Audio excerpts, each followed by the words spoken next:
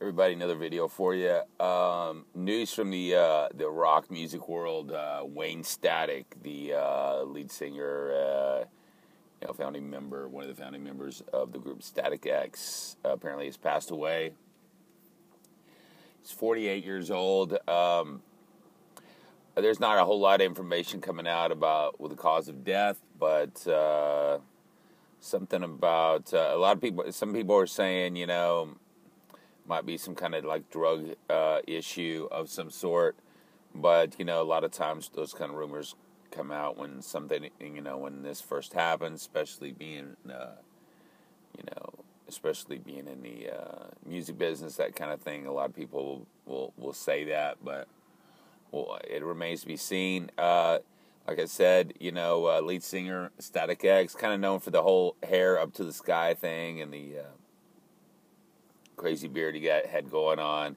Did like six albums with uh, Static X, you know, most famous being like Wisconsin Death Trip and all that, you know, and Push It and and um, you know all that, you know, and Love Dump and and Cold. Some of the is uh, you know they're they're they're better they're better hits that kind of thing. Um, uh, you know, Static X disbanded in 2013, and he was kind of doing a little solo thing, that kind of stuff. Um, a lot. He had a lot of friends. You know, a lot of people. Uh, you know, on Twitter. You know, uh, giving their condolences, that kind of thing. So yeah, it is kind of sad that uh, that uh, that he passed away. Um, so we'll have to see exactly what what the cause of of death is. But uh, yeah, that's kind of uh, it's kind of sad, really. So,